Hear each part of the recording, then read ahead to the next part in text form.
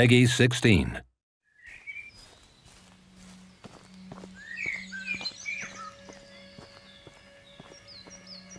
Hello everyone, and welcome to your new hunting ground.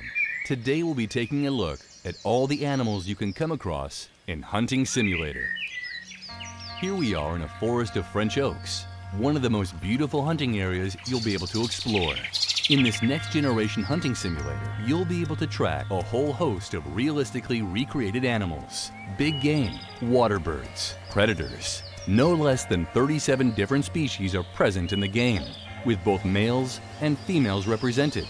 Each species can only be found in its natural habitat. The animals move in groups. Be careful as you approach. They can see, smell, and hear you. If your prey realizes you're there, it will take off, and you'll find it a lot harder to take a perfect shot. Now let's try our chances again in the mountains of Colorado. Here, the Rockies are home to lots of different species, including deer, bighorn sheep, and elk. We're off to track a brown bear, a very common predator in the region.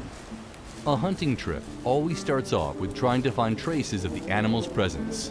It could be paw prints or droppings, or just a simple cry. Keep your eyes and ears open, and you should easily find your prey. Ah, there it is, at last. We're going to try to get it to come nearer using a decoy call. Our strategy seems to have worked. It's coming closer. To aim better and stabilize our shotgun, we just have to hold our breath and press the trigger. A precise hit. The animal dropped to the ground straight away. Let's go and get a closer look. Now you just have to collect it and discover your score. That shot earned you a lot of points. We can also see that it's an impressive trophy. Our brown bear weighs 580 kilograms. What a great hunting trip. Now it's up to you to start a new adventure and become the best hunter in Hunting Simulator.